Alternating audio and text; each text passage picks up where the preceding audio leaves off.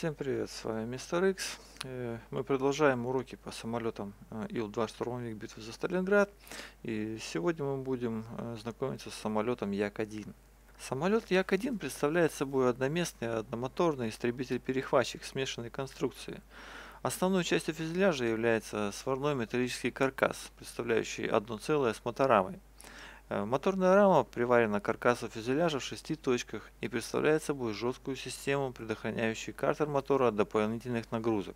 Крыло самолета деревянной конструкции, неразъемное, трапециевидное в плане формы закругленными концами, двухлонжеронное, с жесткой работающей обшивкой. Обшивка крыла фанерная. К каркасу крыла обшивка приклеивается казеиновым клеем и стыкуется на лонжеронах, которым дополнительно крепятся шурупами. Обшивка оклеивается миткалем и шпаклюется. Элероны типа Фрайс. В целях простоты навески и исключения возможного заклинивания, элероны сделаны разъемными, состоящими из двух частей – корневой и консольной. Каркас элерона дюралевый. До обшивки элерона нервюры и хвостовой обод обматываются киперной лентой, поверху которой и прошивается полотно. Швы заклеиваются полотняной лентой на эмалите. Хвостовое оперение свободонесущее, трапециевидное в плане формы с закругленными концами. Стабилизатор деревянной конструкции состоит из двух лонжеронов коробчатого типа, нервюр, стрингеров и обшивки. Киль также деревянный и по конструкции аналогичен стабилизатору. Руль высоты имеет дюралевый каркас и полотняную обшивку. На самолете установлен мотор М105ПФ. Это четырехтактный двигатель внутреннего сгорания с водяным охлаждением и 12 цилиндрами, расположенный в двух блоках под углом 60 градусов. М105ПФ является высотным мотором. Мощность его до расчетной высоты поддерживается с помощью нагнетателя. Переключение нагнетателя происходит на высоте 2300 метров. В игре на Як-1 стоит винт ВИШ-61П, и в отличие от винта ВИШ-105, который стоит на ЛаГГ-3 и работает по прямой схеме, ВИШ-61П работает по обратной схеме. Гидравлика переставляет винт на большой шаг, а центробежные силы на малый. Регулятор оборотов Р-7 поддерживает заданное число оборотов в пределах от 1600 до 2700 оборотов в минуту. Вращение винта направлено в левую сторону. Питание двигателя производится принудительно при помощи бензонасоса БНК-12А, приводимого в действие двигателем. Запас топлива содержится в четырех баках, размещенных в крыле и попарно соединенных трубками. Таким образом, баки обрабатывают две группы, правую и левую, расходование топлива из которых может быть произведено раздельно или одновременно. Для управления расходованием топлива предусмотрен кран, управляемый из кабины летчика. Освобождающееся пространство баков при расходовании топлива заполняется нейтральным газом. Взрывобезопасность баков достигается благодаря наличию в составе выхлопных газов азота 70% и углекислоты 6%, являющихся нейтральными относительно воспламенения паров топлива. Остаток топлива контролируется по бензометру, который расположен на крыле как с правой, так и с левой стороны. Моторная установка закрыта капотом, который состоит из жесткого каркаса, съемных крышек и кока-винта. Крышка капота изготовлена из дюралевых листов толщиной в 1 мм. Система охлаждения мотора закрытого типа. Охлаждающая жидкость – вода. При низких температурах используется антифриз. Емкость системы около 75 литров. Водорадиатор заключен в туннель подвесного типа под фюзеляжем, за крылом. На выходе туннеля расположена заслонка, управляемая из кабины летчика. Маслорадиатор установлен в туннеле с регулируемым выходом под переднюю часть мотора. Управление створкой тросовое, от штурвала на правом борту кабины. Работа системы контролируется по манометру и термометру, объединенными в одном корпусе трехстрелочного индикатора. Шасси трехопорное с хвостовой опорой. Основные опоры шасси убираются в носок крыла по направлению к фюзеляжу при помощи складывания подкосов воздушными цилиндрами. Хвостовая стойка неубираемая, хвостовое колесо фиксируется. Тормоза самолета воздушно-камерного типа. При нейтральном положении педали сжатый воздух, проходя через дифференциал, поступает на торможение обоих колес. Для растормаживания колес необходимо только освободить тормозной рычажок на ручке управления. При торможении правого колеса дается правая нога. Левый клапан с манжетой опустится ниже бокового отверстия и левое колесо, если колеса были ранее заторможены, растормозится. Правое же будет заторможено. Из радиооборудования на самолете устанавливались приемник RSI-4 «Малютка», передатчик RSI-3 «Орел» и радиополукомпас RPK-10.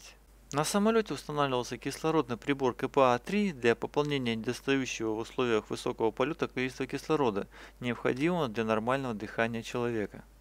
Вооружение состоит из пушки и двух пулеметов. Пушка типа швак калибра 20 мм, установленная на моторе, стреляет через полувал редуктора и втулку винта. Количество снарядов 120 штук. Стрельные гильзы и звенья ленты выбрасываются под крыло.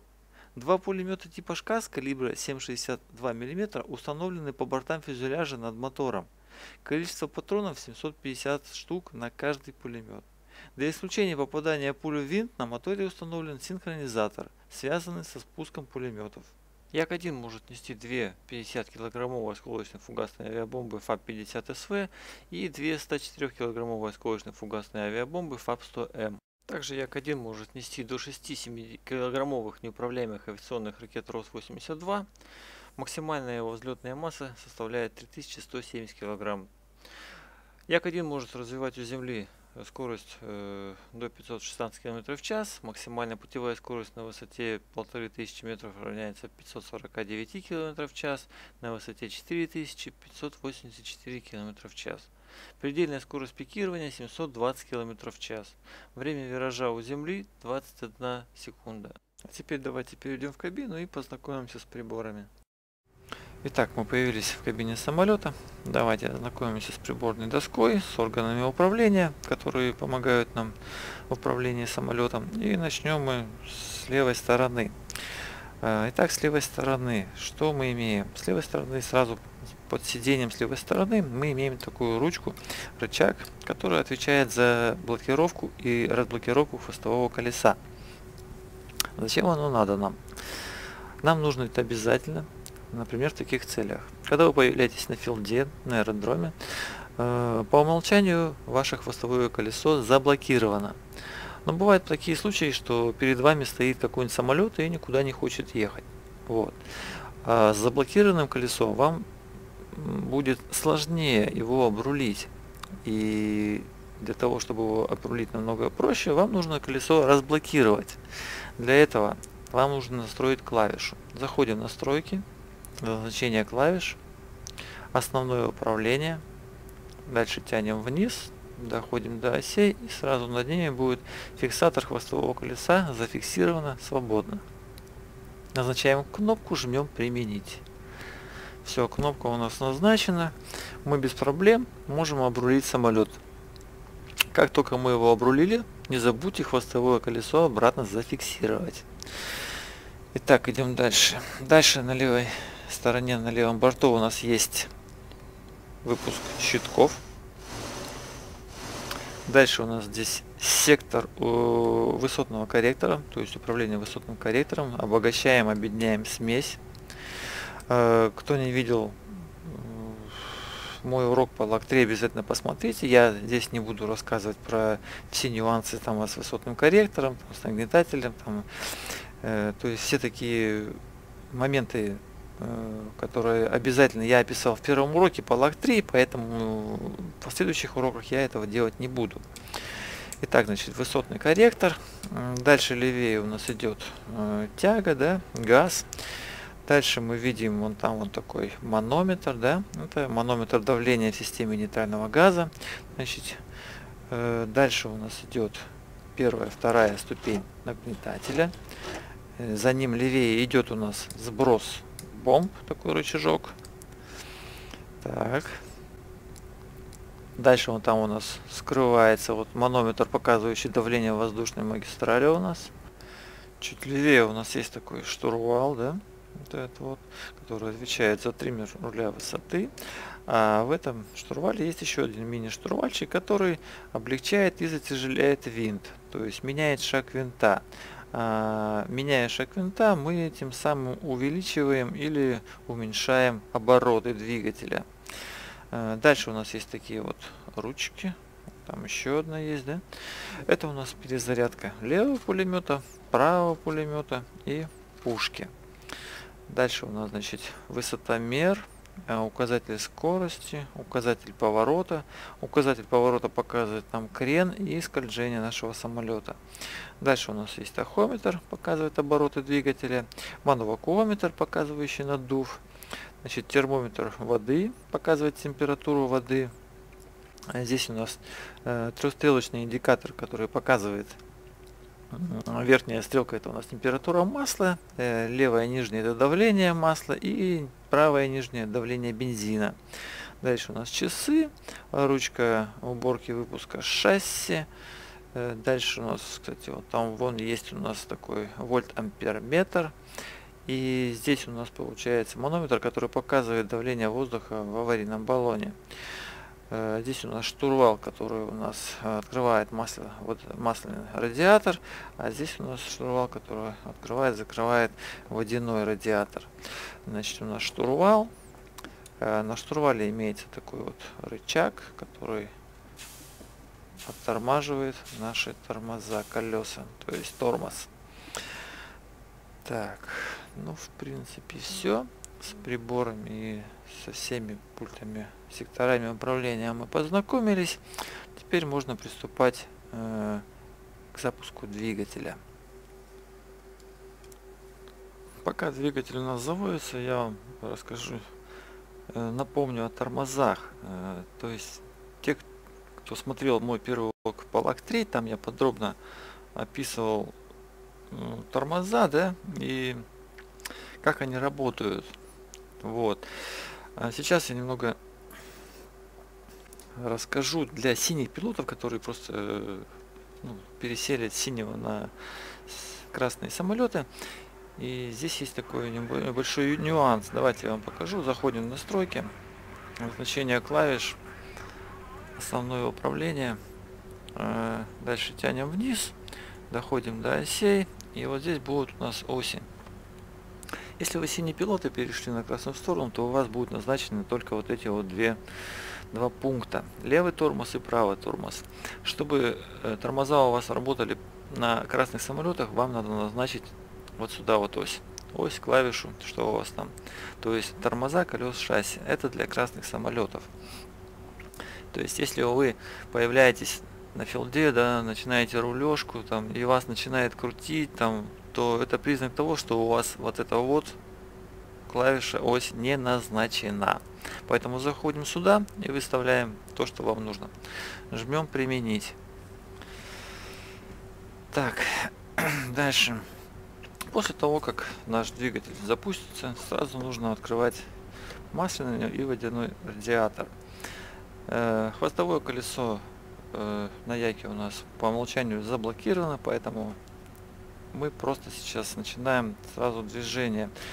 Э, так как у Як-1 у нас винт левого вращения, то реактивный момент будет наш, наш самолет тянуть вправо.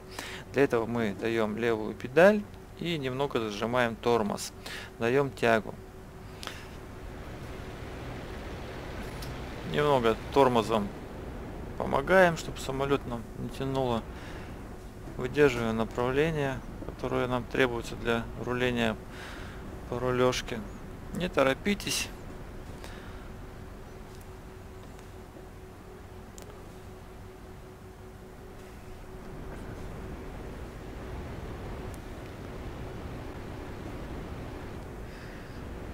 Перед тем, как выезжать на ВВП, смотрите по сторонам, чтобы никто не шел на посадку и вы никому не мешали. Вкатывайтесь на ВПП смотрите, э, вы можете сразу же да, разгоняться. Я просто вам хочу показать один момент. То есть на синих самолетах, да, например, как на штуке, нельзя давать резко тягу да, при взлете. Двигатель может выйти из строя. На Як-1 такой проблемы нет. Здесь регулятор оборотов работает довольно-таки неплохо и очень хорошо справляется с этим моментом. То есть можно давать сразу тягу от себя. Поэтому сразу даем максимальные обороты, даем левую педаль и начинаем разбег. Рулим по полосе, смотрим, чтобы мы никуда не съезжали. Э, можно немного э, триммера выкрутить на кабрирование. Смотрим на скорость, где-то 180-200 км в час разгоняем и тянем плавно ручку на себя. Сразу убираем шасси, все, мы взлетели. Дальше идем набор. Э, фонарь можно закрывать сразу. Э, набор зависит, угол набора, да, угол, угол подъема зависит от ситуации, которую вы преследуете. Если вы хотите максимально быстро набрать высоту, то, конечно, у вас клим будет состоять из большого угла подъема и скорость ваша будет где-то 270-260 км в час. При таком подъеме вы быстро будете набирать высоту, но пройдете довольно-таки маленькое расстояние. А если вдруг ваша цель находится далеко, э, и вы вам далеко до нее лететь, то в принципе можно выставлять скорость 300 км в час. 300 км в час. Встать на меньший угол подъема. У вас будет довольно-таки быстро идти набор высоты, и вы пройдете больше расстояния. Если вам лететь еще далеко, и вам нужно до точки долететь еще быстрее, еще быстрее, то можно разогнаться до скорости 400 450 км в час. Немного задрать угол, сделать угол подъема такой, чтобы шел небольшой климп, небольшой набор высоты, и, как, и при таком наборе вы максимально быстро дойдете до цели и наберете, наберете достаточно такую неплохую высоту. Например, если вы будете лететь там 5 квадратов, да, то вы очень быстро дойдете при таком климбе до цели и наберете довольно-таки неплохую высоту. Поэтому выбирать вам, какой климб вам надо. А, дальше. Переключаться на вторую ступень нагнетателя нужно на высоте 2300 метров. А, по высотному корректору данные такие. Вы часто спрашиваете у меня, какие как работать высотным корректором, как объединять, обогащать смесь, на каких высотах, насколько. Я сделал очень просто. Э, я выставил в настройках в простом редакторе э, автоматическое управление двигателем, поставил там галочку и начал набор. При этом я начал смотреть, на какой высоте и на, насколько у меня будет э, автомат э, регули, э, автомат автоматически да, будет у вас регулировать коллектор, да, то есть объединять смесь, с какой высоты он начинает. Так вот, я посмотрел и у меня получились такие значения. Корректор начинает переключать автомат на высоте 3800 метров на 70% выставлять. То есть мы выставляем на 70%. Вот такое примерно положение. Дальше следующее положение у нас... Э, так, секунду, вот смотрите, видите, 2300 мы прошли, включаем вторую ступень нагнетателя, и у нас надув стал больше. Вот смотрите, убираю, да? Надув стал расти. Вот. Э, так вот, вторая часть переключения корректора происходит на высоте 5600 метров. Как только он набирает 5600 метров, корректор переключается у нас на 50%. Вот в такое положение примерно он встает. То есть есть два положения, 3800 и 5600. Вот автомат в таких положениях летает. То есть получается, что это самые благоприятные условия для корректировки смеси регулировки смеси. И запоминаем, значит, 3800 70%, 5600 метров 50%. Только, конечно, не забываем то, что при спуске, при спуске, да, не забывайте, конечно, опять обогащать смесь. Не забывайте. Так, дальше смотрим сюда. Если бывают такие моменты, вы встаете в климп, например, температура за бортом, ну, жара стоит конкретно, двигатель может перегреваться. В таких случаях я просто выставляю обороты на 95%.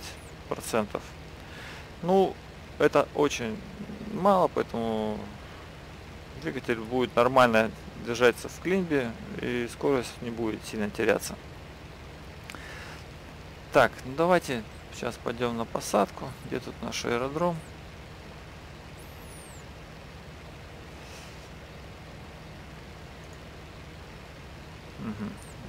Улетели уже не туда. Так, давайте я вам сейчас покажу посадку такую экстремальную, да, очень быструю. Так, вот наш аэродром.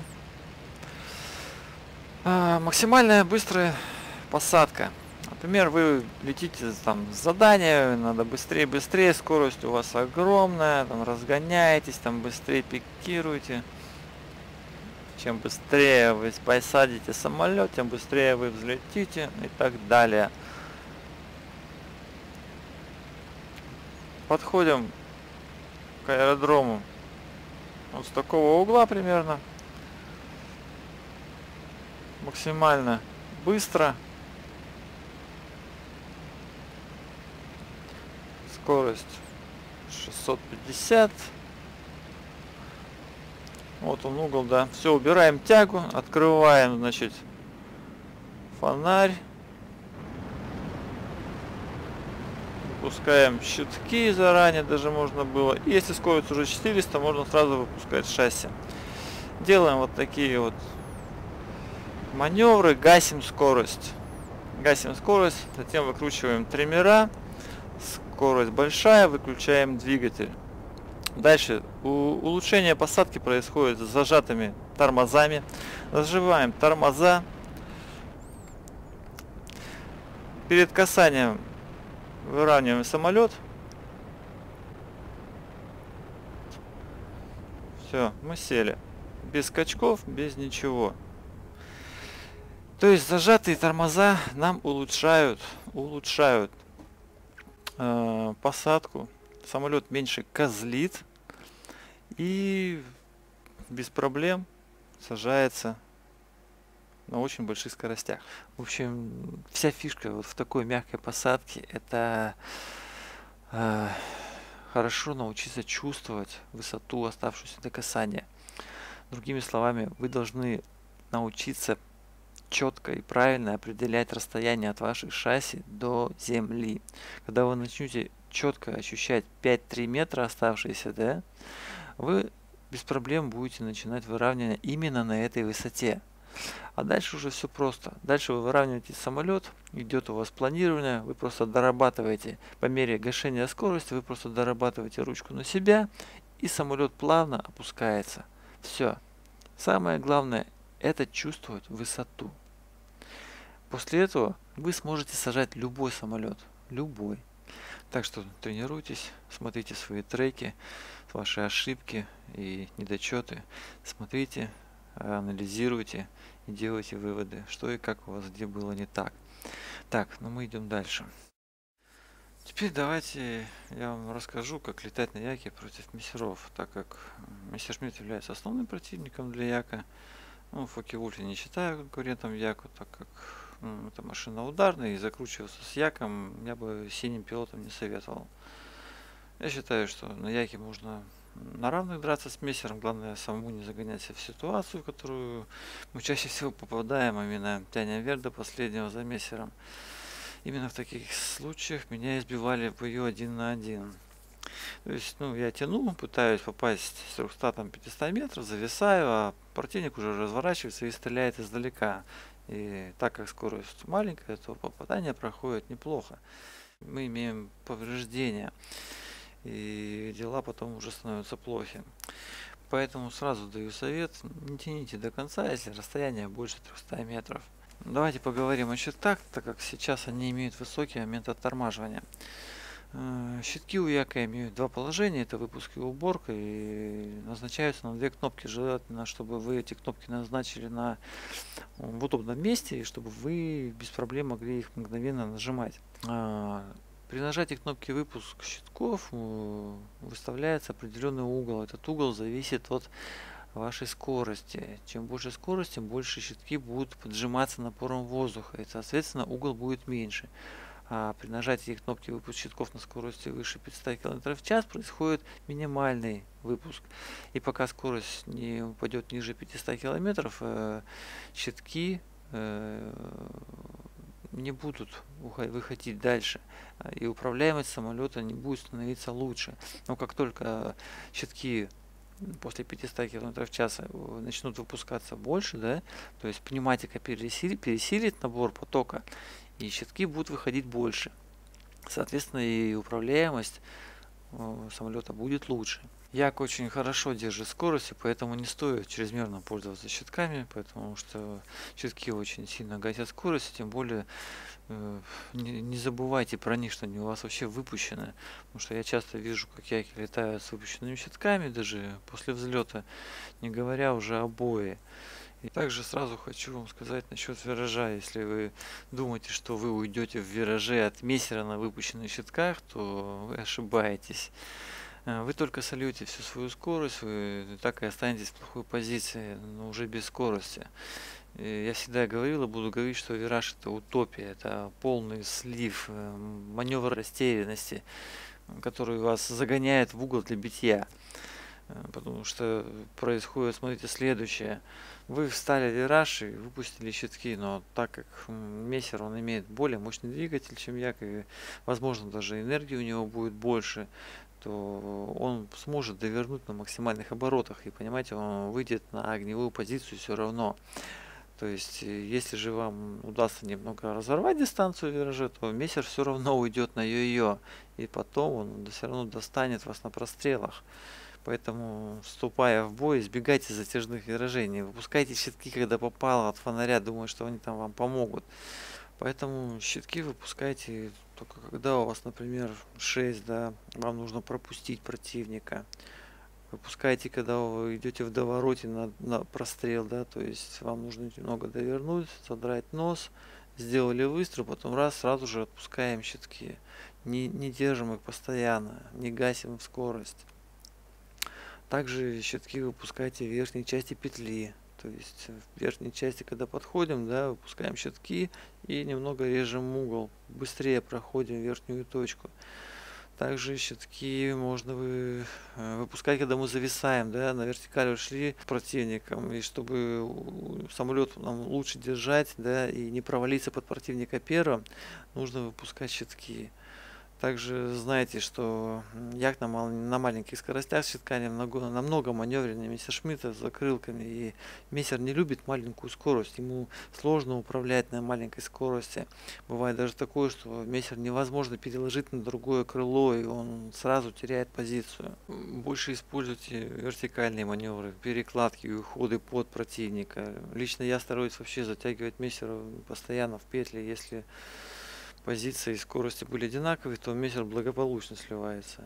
Если же мессер имеет, конечно, чуть больше энергии, то он может достать, может, да, на максимальной тяге, он может выйти на огневую позицию. Поэтому здесь надо быть внимательным, следить за моментом выстрела и вовремя менять траекторию, не давая ему метко стрелять на упреждение.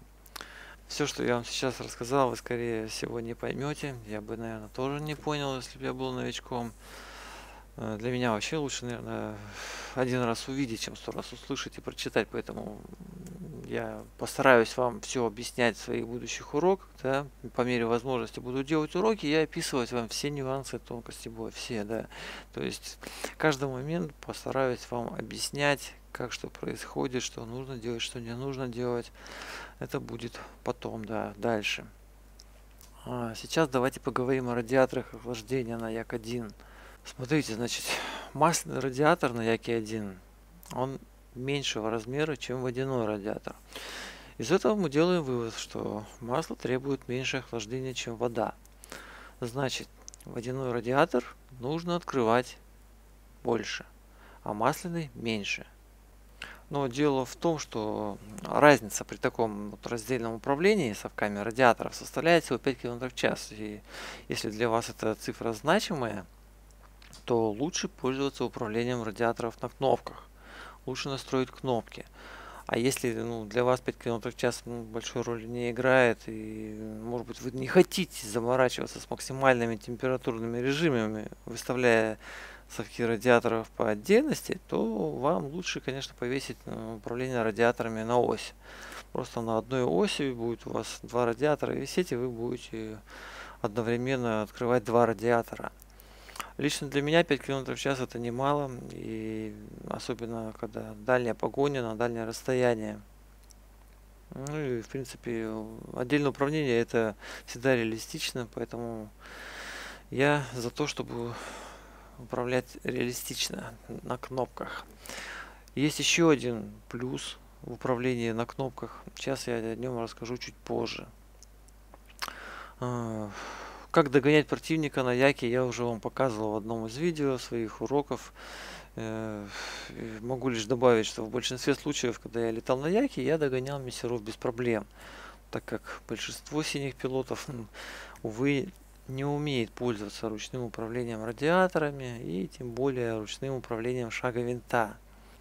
Ну и чтобы получше знать э, критические, да, максимальные температурные режимы, я вам советую зайти просто в простой редактор, взять самолет, полностью управление двигателем и посмотреть, э, какие температуры, насколько быстро приходят до максимальных значений, насколько хватает этих э, максимальных значений до повреждения двигателя, да, как держать температуру, как не допускать ее завышения. Все это потренируйтесь, и в будущем это очень сильно вам поможет. Идем дальше. А, давайте я научу вас дотягивать на неисправном двигателе как можно ближе к филду или даже до посадки. Очень часто бывают такие случаи, когда ваш двигатель повреждается от вражеского огня. Повреждения двигателя бывают разные. Например, после попадания в двигатель сразу начинает заливать фонарь. Это повреждение одно из самых худших, так как идет потеря масла, и если сразу не лететь домой, то масла просто в системе не останется. Двигатель начнет работать на сухую, и вскоре он просто-напросто у вас остановится. Что же нужно делать на Як-1, чтобы дойти до филда домой? Сразу идем после такого повреждения мы сразу же разворачиваемся и идем домой, так как это очень серьезное повреждение.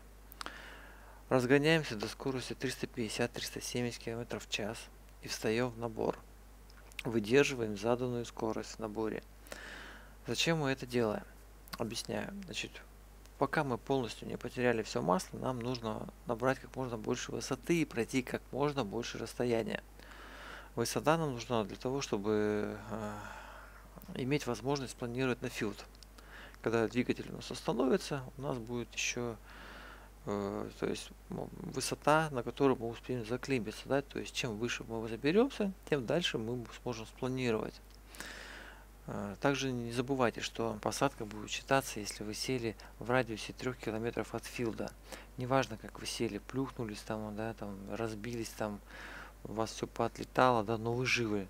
Все, у вас будет посадка. Вы насчет этого можете не волноваться. Значит, дальше мы полностью открываем масляный радиатор. А водяной радиатор мы закрываем и оставляем всего лишь 10%.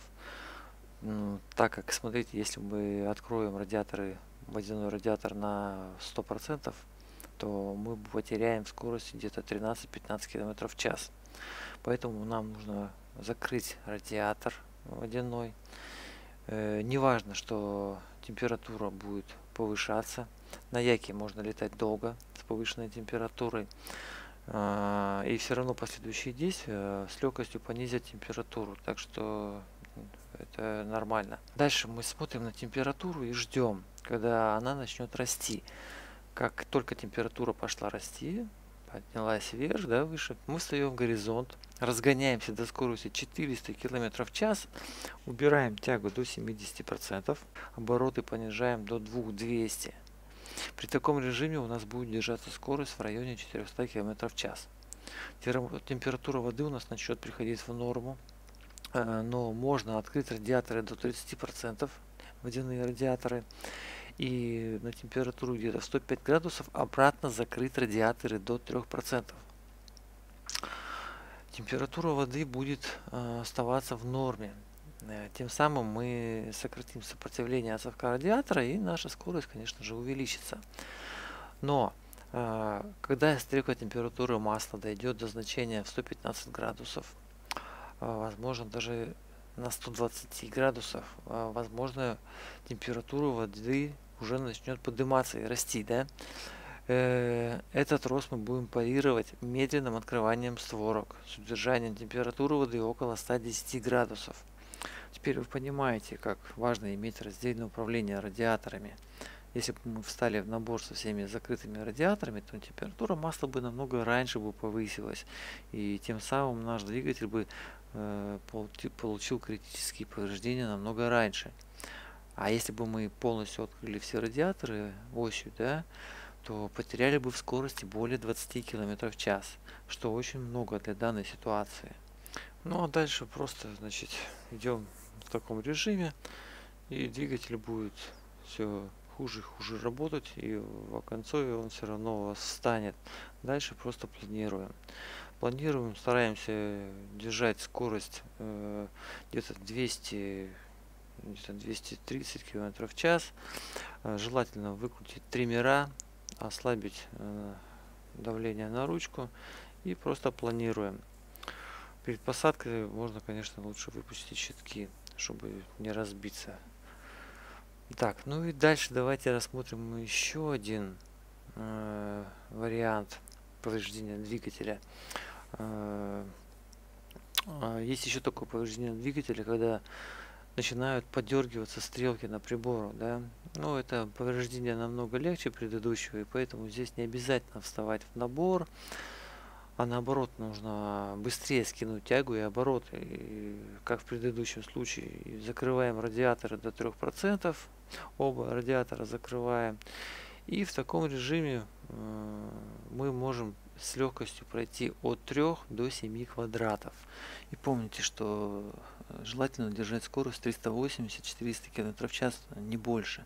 Потому что если у вас будет скорость больше, то, соответственно, у вас и показания да, будут больше. То есть там надув и обороты у вас будут, соответственно, больше. А чем больше у вас будут э, показания, то тем больше у вас будет нагрузка на двигатель. И тем быстрее ваш двигатель будет выходить из строя. Так что обращайте на это внимание. На этом урок наш закончен. Следующий урок будет совсем скоро. Э, следующий урок будет посвящен обзору. Многие из вас жалуются, то, что плохой обзор, там, да, там начинают устанавливать всякие программы, там, и не понимают, почему они видят, например, а у меня видео, я все вижу. Вот э, следующий урок будет посвящен именно этому моменту. Я покажу вам все свои настройки, все свои программы, что у меня установлено. Там посмотрите мой трекир в игре, как у меня что настроено. Я вас э, научу, как делать правильный обзор. И мы обсудим, почему вы видите, почему вы не видите. В общем, урок будет посвящен полностью обзору. Ну все, на этом у меня все. Всем спасибо, пока.